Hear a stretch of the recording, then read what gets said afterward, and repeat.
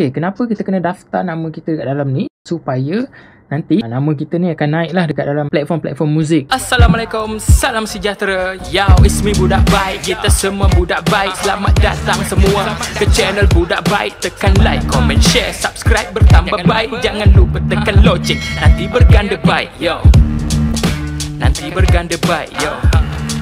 I'm out What up guys, me Budak Baik. Selamat datang ke channel Budak Baik Official. Welcome back to vlog Budak Baik. Okay guys, ini ada quick uh, sharing okay, Macam nak daftar nama kita kat dalam platform muzik ni kan Macam biasa, aku menggunakan Sounddrop Okay, uh, kalau korang tak tahu lagi apa tu Sounddrop uh, Korang boleh check out okay, video yang sebelum ni Okay, uh, tick, uh, tick pula. Klik je kat atas ni Okay, dan tengok lah Kalau korang dah ada account Sounddrop ni Just masuk kat dalam ni Okay Okay, kenapa kita kena daftar nama kita kat dalam ni? Supaya nanti nama kita ni akan naik lah dekat dalam platform-platform muzik macam Spotify, Deezer, YouTube Music. Secara automatik nanti nama kita akan naik. So, cara dia sangat senang. Okay, bila korang dah ada Sounddrop, korang dah buka kat Sounddrop, pergi dekat paling kiri tu menu dia kan. Ada start, ada asset, ada right holder.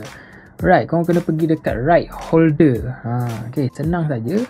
Simple je. Ni, ini tutorial simple je aku tunjuk. Okay, korang pergi ke right holder. Okay.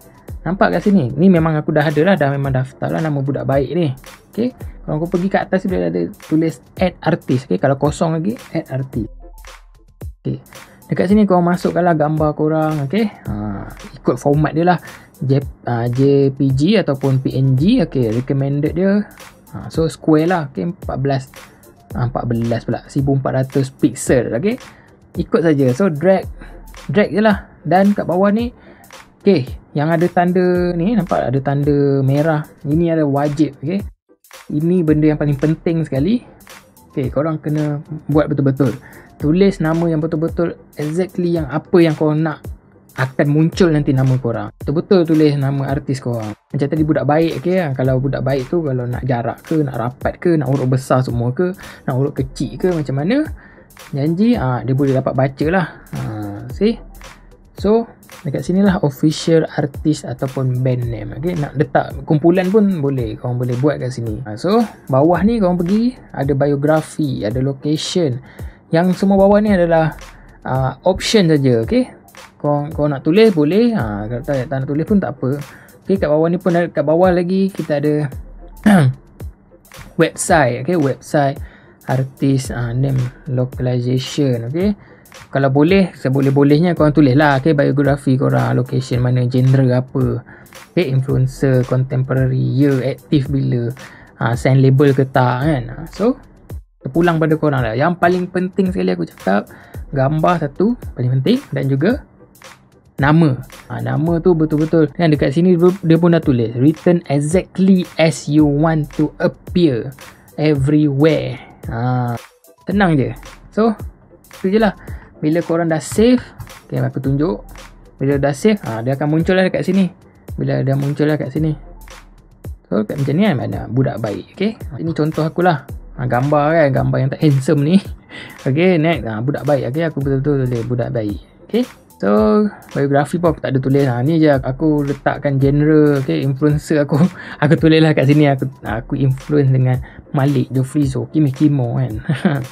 Okay? Itu sajalah sign to label ah no lah okay kita buat independent. Right ni stat.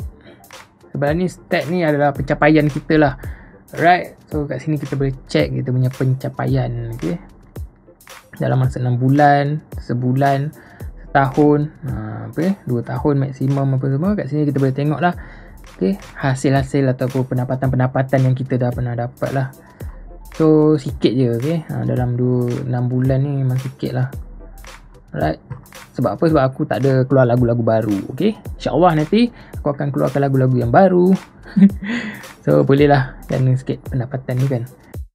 Okay guys, itu je lah cara dia. Senang je kan. Pun kalau korang tak faham, tanyalah dekat ruangan komen ataupun tanya sendiri aku dekat Instagram. Okay, insyaAllah aku akan balas. Dan kalau suka video ni, tekan like, share kat kawan-kawan korang. Yang paling penting, subscribe channel Budak Baik Official sebab subscribe itu percuma. Dan jangan lupa tekan lonceng notifikasi untuk dapatkan notifikasi untuk video-video yang akan datang. Guys, sampai jumpa di video akan datang. It's me Budak Baik. Kita semua Budak Baik. Assalamualaikum. Salam sejahtera. Ciao Tekan like, comment, share, subscribe bertambah baik. Jangan lupa tekan loceng Nanti berganda baik. Yo, I'm out